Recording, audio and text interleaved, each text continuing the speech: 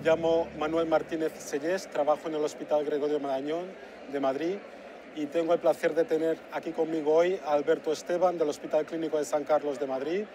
y a Ana Yesta del Hospital del Sudeste también de Madrid. los tres hemos participado en el registro SUMA de sacubitil valsartán usado en Madrid ambulatoriamente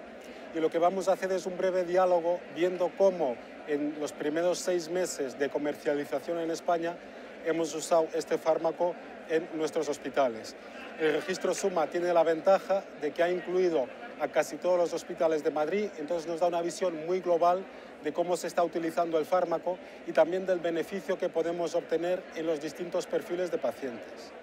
Yo empezaría, Alberto, preguntándote ¿Cómo organizáis vosotros lo que es el uso y la titulación del fármaco en un hospital grande como el clínico, pues que tiene un hospital de día específico de cardiología? ¿Cómo lo hacéis habitualmente? Pues es verdad que hemos cambiado un poco del principio ahora, porque al principio la titulación la hacíamos cada dos semanas muy estrechamente y poco a poco hemos ido normalizando y haciéndolo como la titulación normal de los fármacos. Entonces, generalmente, una vez que se empieza el fármaco en el paciente, se hacen bueno, pues, parámetros eh, constantes, analítica, y después se le cita en 3-4 semanas para titulación y así progresivamente hasta que se finaliza la titulación. Y bueno, pues empoderando un poco al paciente de que llame si tiene síntomas o si tiene cualquier efecto secundario. Perfecto. Ana, eh, en vuestro hospital, que no hay un hospital de día específico de cardiología, ¿cómo lo soléis organizar? Y también quería un poco, porque uno de los resultados del SUMA, lo que se ve es que habitualmente las dosis más bajas se usan en hospitales más pequeños. Yo creo que eso puede ser varias cosas. También el perfil de paciente que se ve en un hospital más pequeño es distinto que el que se ve en un centro, que a lo mejor hay hospitales más jóvenes o hospitales que tienen pacientes más jóvenes que se han remitido para trasplante cardíaco. Un poco cómo lo organizáis y cómo ves el tema de dosis y de la titulación. Bueno, nosotros varias cosas. En primer lugar, usamos un hospital de día médico, un hospital de día general donde citamos al paciente con insuficiencia cardíaca, pues normalmente los que están a partir de clase funcional 2 se ven directamente allí, no se suelen ver tanto en consulta y lo que hace es el médico que le lleva, nosotros no tenemos consultas específicas, aunque sí que estamos dos más encargadas de ello, no hay consultas específicas, entonces el médico que le lleva le cita, le pide la analítica y si cumple los criterios pues inicia el fármaco. Y sí que ya un poco el seguimiento va a criterio de, cada médico, pero se solía hacer cada dos, cuatro semanas. Eh,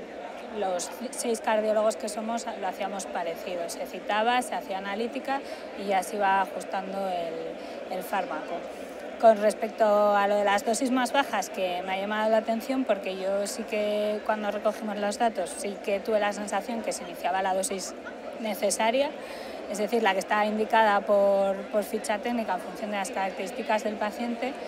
pero sí creo que, que, sean pacientes, yo creo que son pacientes distintos. Para empezar, son pacientes que aunque llamativamente no tienen más edad y no tienen más insuficiencia renal ni comorbilidades mucho más llamativas, sí que creo que pueden ser pacientes que, que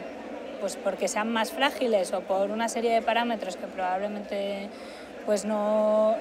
tengamos registrados, eh, son pacientes que están en un hospital comarcal, no están en una unidad de insuficiencia cardíaca de un hospital grande y eso probablemente sea debido a que no son candidatos a terapias más avanzadas, como pueda ser una asistencia, como pueda ser un trasplante, incluso como pueda ser un desfibrilador, un resincronizador, que también tenemos menos, menos tasa. Entonces yo creo que ese puede ser uno de los motivos que el perfil del paciente sea distinto. Muy bien, yo creo que uno de los mensajes, y además yo creo que es bueno que coincidamos en función del ambiente en el que trabajemos, es que la titulación es relativamente sencilla, que cuando uno empieza a usar un fármaco puede ser algo que dé cierto miedo, pero lo que se ha visto es que igual que titulamos un IECA, pues se puede titular sacubitril sartán y de hecho el riesgo de empeoramiento de la función renal o el riesgo de hiperpotasemia en el Paradigm incluso fue menor con sacubitril sartán que con enalapril. Otra pregunta ya para terminar sería un poco lo que se ve en el registro es que respecto a los datos del Paradigm estamos seleccionando pacientes con una clase funcional más avanzada, estamos llegando un poquito tarde, aunque también quiero también recalcar que esto es lo que sucedió en los seis primeros meses, no tiene por qué ser lo que se estén haciendo en los hospitales en este momento. Un poco mi pregunta para eh, vosotros sería, ahora mismo, ¿Creéis que respecto a cuando empezasteis a usar el fármaco estáis empezando antes? ¿Estáis empezando en pacientes en clase 2 y a lo mejor al principio empezábamos en clase 2 pero más tirando a 3?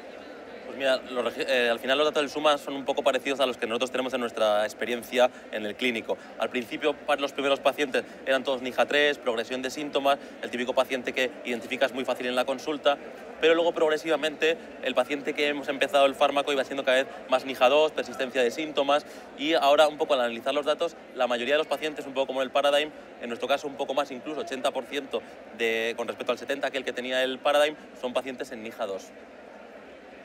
Sí, yo creo que nosotros parecido. En principio se empezó a usar el fármaco en pacientes que estaban más en situación de insuficiencia cardíaca avanzada, que ya se seguían más en hospital de día porque estaban peor y probablemente ahora incluso sin necesidad de que sea un paciente en hospital de día, ya en la propia consulta hay varios cardiólogos que inician el fármaco teniendo una analítica reciente por el mero hecho, pues el paciente aunque esté estable está en clase 2, siempre ha estado en clase 2, ahora tenemos un fármaco que podemos utilizar y se, y se le inicia, así creo que se está utilizando más. Perfecto, yo lo decía sobre todo para que tengamos conciencia que los datos reflejan el uso en Madrid en los seis primeros meses en los que se comercializó, que probablemente pues ahora mismo el fármaco se esté utilizando cada vez antes.